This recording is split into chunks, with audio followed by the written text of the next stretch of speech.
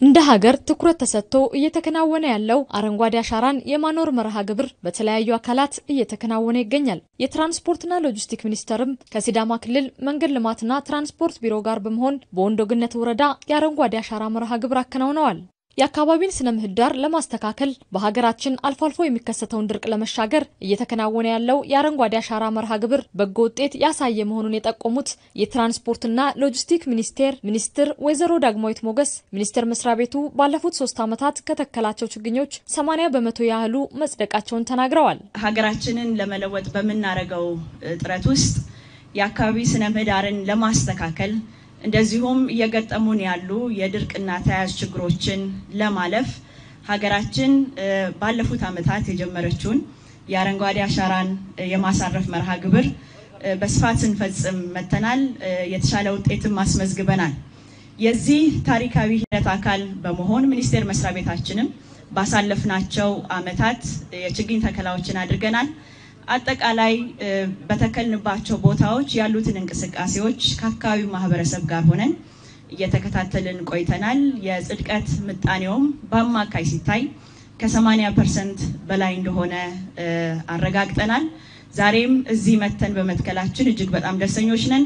መትከል ብቻ ሳይሆን ዘላቂ እንክብካቤውንም ሌሎች ቦታዎች ላይ እንደምናደርገው ከአካባቢው ማህበረሰብ ጋር በጋራ በመሆን የመንከባከቡን ስራ ለማስጠበቅ የሚደረገውን ጥረት እናግዛለን። በመርሃ ግብሩም ችግኝ ከመትከል ባሻገር ወንዶ ገነት ወሻ አንደኛ ደረጃና መለስተኛ ትምህርት ቤት ተጀምረው በገንዘብ እጥረት ያልተጠናቀቁ ሁለት ብሎክ መማሪያ ክፍሎችን ሚኒስቴር መስሪያ ቤቱ እንደሚያጠናቅቅ ወይዘሮ ዳግማዊት ገልጸዋል። የበጎ ፈቃድ አገልግሎት እንደ ሀገር የተጀመረ ከመሆኑ ጋር ተያይዞ ሚኒስቴር መስሪያ ቤታችን በተለይም ደግሞ ተጠሪ ተቋማት እዚህ አካባቢ ያለ ትምህርት ቤት ሁለት የመማሪያ ብሎኮች ተጀምረው የተቋረጡትን የማጠናቀቅ ማጠናቀቅ ግንባታውን ብቻ ሳይሆን ቁሳቁሶችንም የማሟላት ስራ ለማከናወን ተገኝተናል።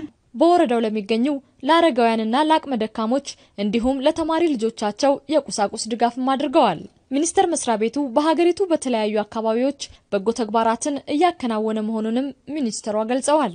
በዓለም አደባባይ የሀገራችን ባንዲራ ከፍ ብሎ በታየበት ማግስት ለበጎ ስራ መገናኘታችን አስደሳች ነው ያሉት የሲዳማ ክልል ርዕሰ መስተዳድር አቶ ደስታ ሌዳሞ አትሌቶቻችን በመተባበር በአንድነት ድልን እንደተቀዳጁ ሁሉም ወንድማማችነትንና እህትማማችነትን በማጠናከር ለኑሮና ለስራ ምቹ አካባቢን ለመፍጠር ችግኝ የመትከል መርሃ ግብሩ ተጠናክሮ ሊቀጥል ይገባል ብለዋል። እንደ ሲዳማ ክልል በአራተኛ ዙር የአረንጓዴ አሻራ መርሃ ግብርም 300 ሚሊዮን ችግኞች ለመትከል እንደታቀደ ያስታወሱት አቶ ደስታ ለዚህ መርሃ ግብር ትራንስፖርትና ሎጂስቲክ ሚኒስቴር ላከናወነው በጎ ተግባርም አመስግነዋል። ልባችሁ የፈቀደውን ክፍተት በመሙላት ህዝባችንን በጋራ ለመጥቀምና ለማገዝ በመካከላችን በመገኘታችሁ የትራንስፖርትና ሎጂስቲክ ሚኒስቴር ክብርት ሚኒስትሯን ጨምሮ ተጠሪ መስሪያ ቤቶችና መላው ሰራተኞቹን በድጋሚ በሲዳማ ብሔራዊ ክልላዊ ስም ከልብ ላመሰግናችሁ እወዳለሁ። የእኛን እቅድና ውጥን ሊደግፍ በሚችል መልኩ